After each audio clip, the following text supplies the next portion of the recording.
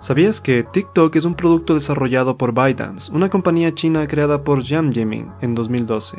Esta compañía lanzó una aplicación llamada Douyin en septiembre de 2016 y rápidamente se convirtió en una de las apps más descargadas en China. En septiembre de 2017, ByteDance crea la marca TikTok para comercializar Douyin en el resto de los países del mundo.